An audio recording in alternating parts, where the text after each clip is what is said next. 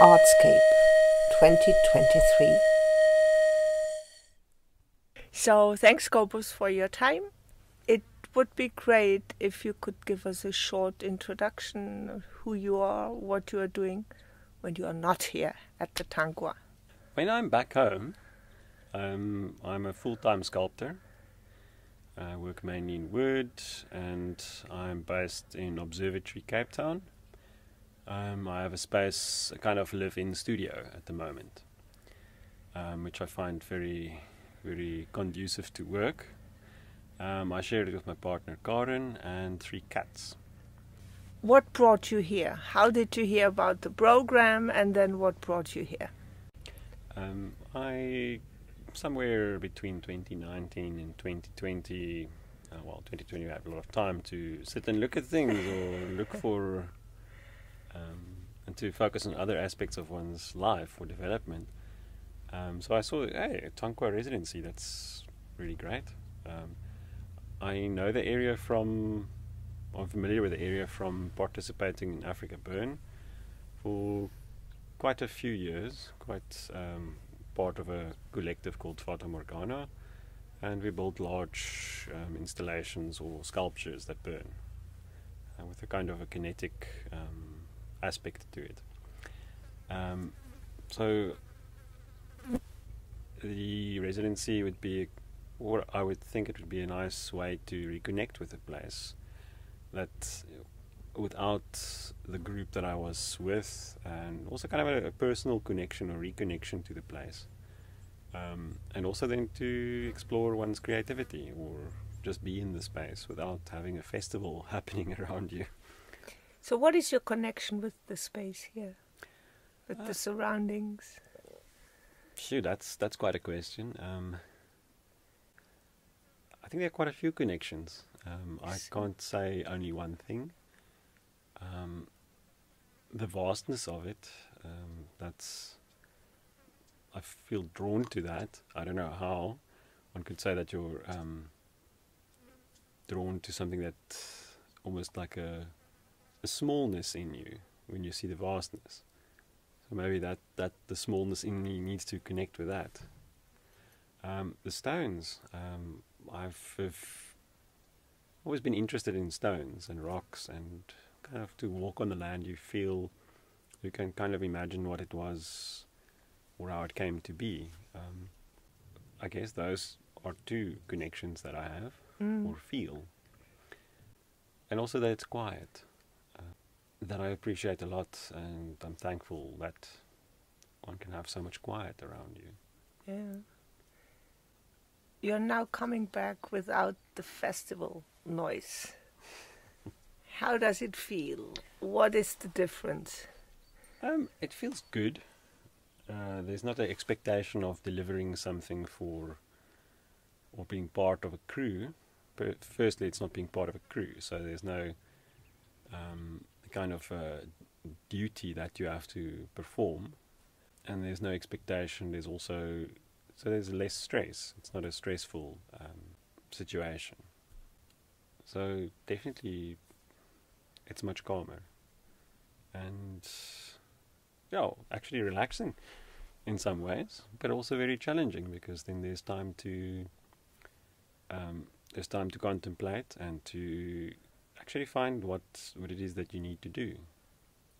So beyond just making work, there's work that you can do in yourself and on yourself. So it's also kind of quiet time to grow. That is Mm. what I would say the, the main difference is between going to a festival under severe deadline pressure, anxiety about getting the thing done, and the scores of people and the noise and the Mm. yeah the kind of overwhelming noise and I don't know what for. I mean, how can what grows in that environment? But why did you go then? the challenge to be here.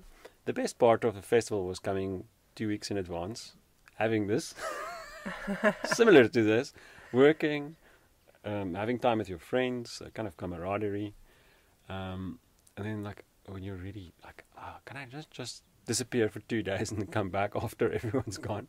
Yeah. I mean, you're working here pretty much on your own, but still there is the collective, right, of the residency. Yes. How does this impact, influence, or inspire, Um, uh, disturb you? Well, I would say it's it's interesting because everyone is able to share what their progress or not progress is, and what they find like can. I think the sharing is probably the most interesting part. If I were totally here on my own, like who would I share it with? Um, and how would I then also know to look out for certain things? So the sharing is a very interesting part of this but there's also enough time, space, and quiet to work undisturbed. I quite like the group aspect of it. I'm not. It doesn't feel like I'm back in school. Even though you would call it a learning space here? Yes, I mean it doesn't have the. Um, yeah, school is probably a, quite a loaded word. Very loaded. and almost negatively loaded. Yeah, this the idea is that um, you're being formed into a uniform product for consumption. That's probably what schools are factories of this this type of person. Yes. And I don't really think. Maybe that's the loaded and um, negative connection to it. So, what are you learning here? I guess most of all to to be thankful, to be grateful, to allow kindness towards others and towards oneself. The practical challenge of making the sculpture that's always going to be there, but um, the environment is so that necessitates Necessitates. it is a difficult world. that it necessitates um, kindness with oneself and with whoever is in your space and surrounding. So, Mm. I mean, a harsh place makes one kind. An easy place can make one very unkind very quickly. Mm. Or where everything is so comfortable and so controlled, and where the smallness in you becomes too big. You look pretty organized there in your in your studio in the in the Tankwa studio. You applied with an idea. Are you still stuck to it? Are there any changes? Um, there could be. I mean, sometimes having a, a certain idea uh, doesn't allow you to grow or sticking to it. To be, all the preparations and the things that went in were like, oh, I need to go and make something you. So it's like there is still a kind of a thing to deliver and uh, um, a fulfillment of a promise. Um, but the promise seems to change, or the premise of the promise seems to change. Almost the work is a byproduct of what is now being created in the organized space. Um, the kind of uh, echo of the preparations. That is where the play comes in, and how I usually, work, maybe I don't know if everybody works like that, or some people only the magic happens just before the deadline.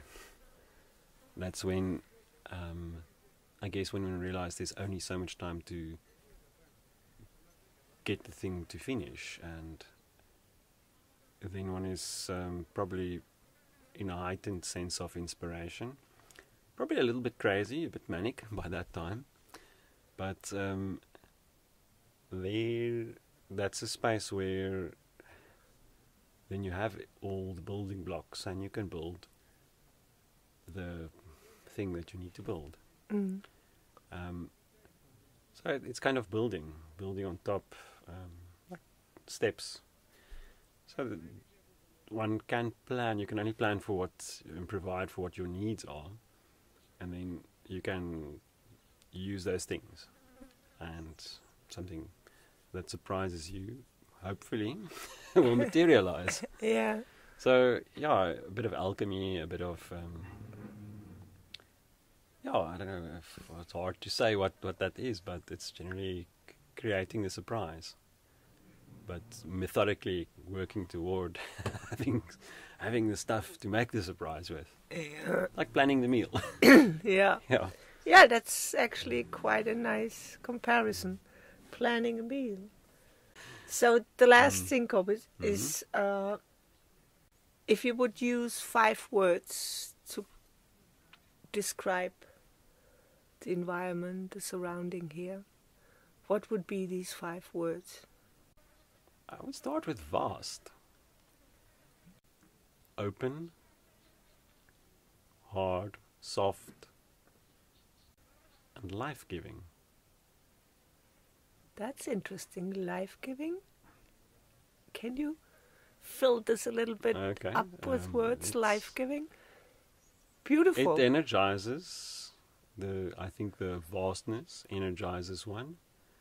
Um, it shrinks the smallness or makes it grow, and I guess it's uh, scale wise. It shows you the immensity of what surrounds you, um, and it also makes you see how insignificant and even significant one can be.